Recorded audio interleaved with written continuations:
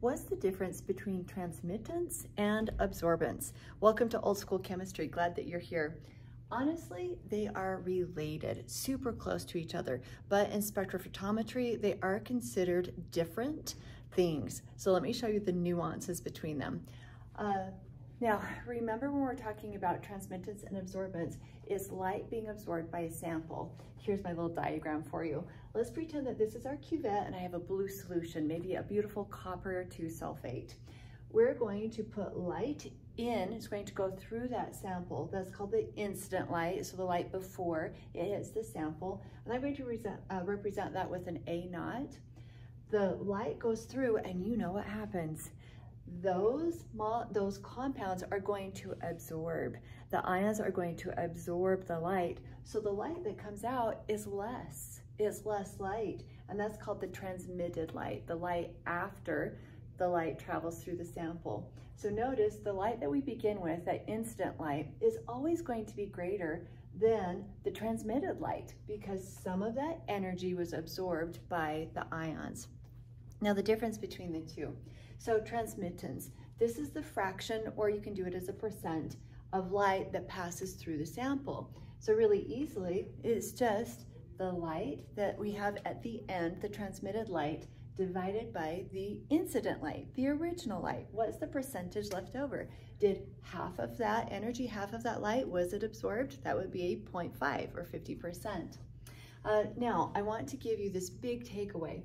If you increase transmittance, that means more light goes through the sample. That means that you decrease the light absorbed. So a high transmittance, a lot of light went through, not very much light was absorbed. And if we graph this, absorbance versus transmittance, you can see that it is a, a negative slope, okay? An inverse relationship. Now, absorbance, and this is usually, honestly, uh, what we measure. This is what I have my students measure is absorbance when we do our uh, spectrophotometry. Absorbance is the measure of light absorbed, how much light was absorbed. Check it out.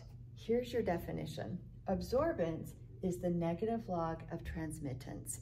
Now, you'll see this a couple of different ways based on your professor, based on your textbook. So I wanted to give you every possible way I could think that you would see this. Uh, so absorbance is the negative log of transmittance. I just broke apart transmittance. I took this, put it here. So the negative log of the transmitted light divided by the incident light, amount of light that comes out compared to the amount of light that we put in. Um, now, you guys know with logs, if I change this from a negative to, negative to a positive, that reciprocates what I have inside of my log. And sometimes you'll see this in books. The positive log of the incident light, what you begin with, divided by the transmitted light. And often in books, you'll see it as positive log of 1 over transmittance. When that reciprocates, T is reciprocated, that's when you have the A naught over the A it's all the same thing. It's just a mathematical manipulation. So if you see any of those, you'll go, oh yes, absorbance is just the negative log of the transmittance.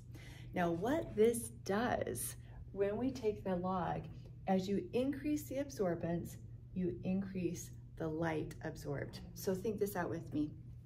When I have my light going in, it's absorbed by those ions the more ions I have, the greater the concentration of that sample, the more light that's absorbed, the more energy that's absorbed.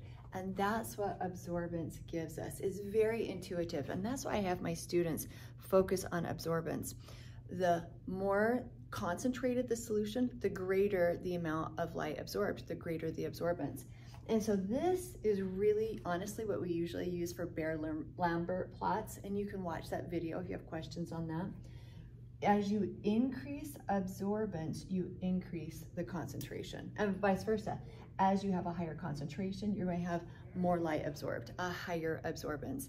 This is usually where we live, but you need to understand the difference between those two um, to really fully grasp that final graph that we use for spectrophotometry.